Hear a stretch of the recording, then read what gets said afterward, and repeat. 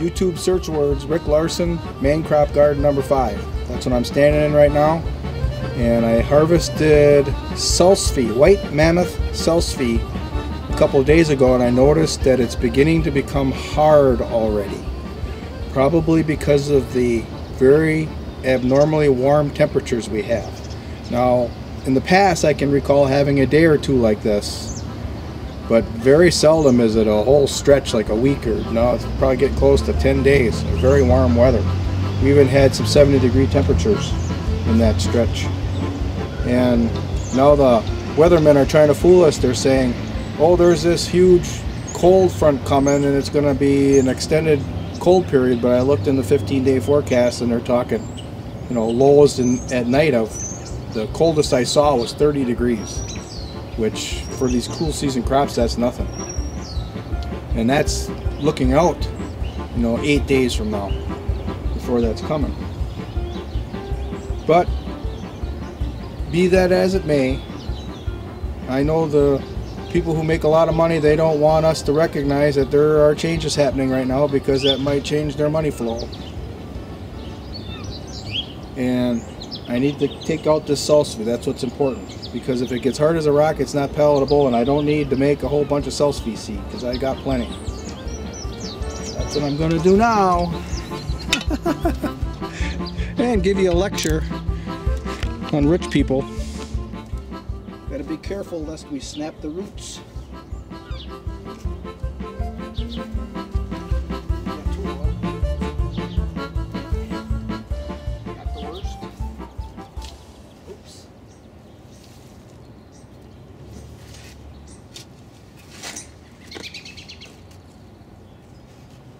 These were late planted last year. That's probably why they're not as big. But still, that's plenty. When I get a really big one, then I'll go, oh, look at that one. Ooh, look at that one.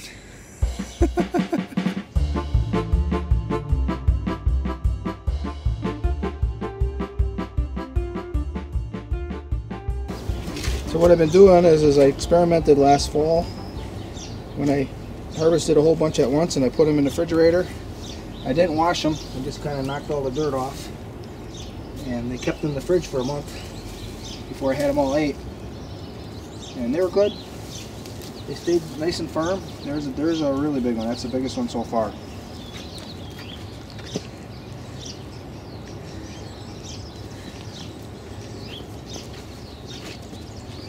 That's what I'm going to do with these. I basically eat most of this stuff for breakfast and I contribute to the other meals.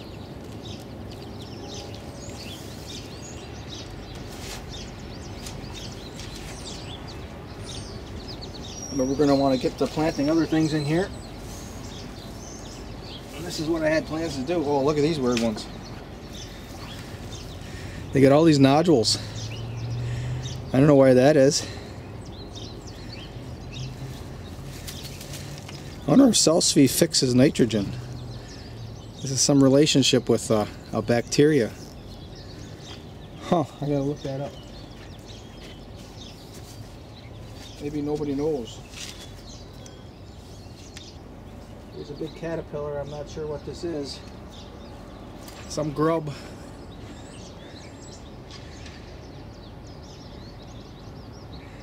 I'm not going to give it the benefit of the doubt, if you know what I mean.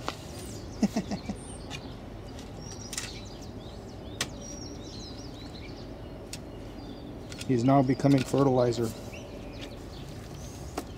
I think all these side shoots are a, are a sign that I have lots of nitrogen. And I don't even add any nitrogen. It's just from the soil life. There's a couple nice ones. There's a nice root. These are really some nice grasses right here. So I'm gonna wash up a bunch of these. The ones on the edge, around the edges, I'll just put those in the compost, but these fresh ones that are coming out of the top, I'm gonna wash those up and eat those in a salad for lunch today. And here they are. These are all salsify roots. and salsify tops. So I'm going to dig out this little patch left yet too, and I'm going to leave one to make seed because they got pretty flowers. And then this bed will be ready for planting somewhere in the near future. Alright, then after that, we got to take out this pars parsnips because the same thing will happen. They're going to get hard as a rock. And those stems that are coming, those brown dried out stems, that's skirret. I'm going to dig those out too. Then I got a whole another bed there that I can plant up between the bricks. Alright, right here we have edible burdock that's greening up. It's ready to be harvested. And then we have edible burdock here that was covered in this straw right here. And it's white because it hasn't been exposed to the sun. I'm wondering if it tastes a little bit better or differently. So that's going to be an interesting experiment. Maybe I'll let you know. And there's some edible burdock that I'm going to dig out right now. We're going to do a ferment. Alright, we got a couple of roots here that are large enough to deal with. I actually cut one off, so it was down in there pretty far. And then we have all these where they're pretty small. I mean, some of these maybe I could do something with them. I guess that one I can. I could probably do something with all of them, but I don't want to bother cleaning. But since I I have these here, I might as well replant them. Let's see what happens. And here's a row that I planted. These were the longest roots. And right along this fence edge. This is the sun side of the fence. And next spring, I expect this to thaw out first and I'll harvest those right away. Alright, I washed up the burdock roots after cutting the leaves off.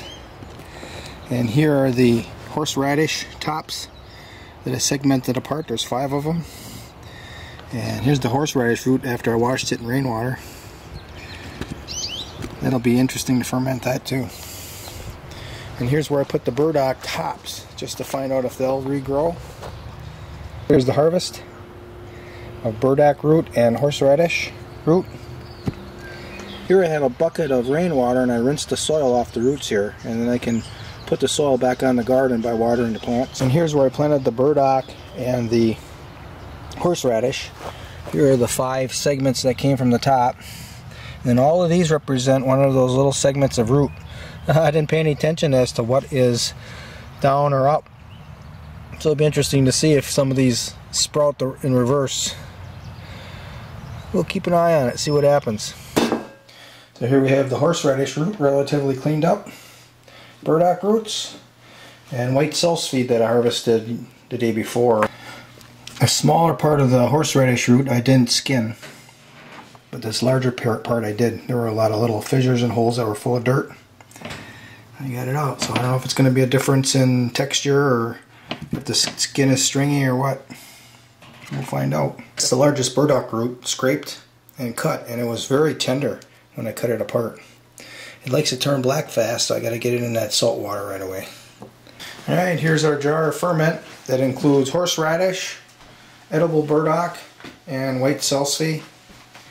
And alongside I'm doing a half gallon of bean ferment. These are the skins from the edible burdock. I'm positive there's a lot of elements in here. I know there's a lot of iron in burdock. We're not going to be putting those to waste. We're going to put them in the compost bucket aerobically compost and those elements are going to go back into the soil.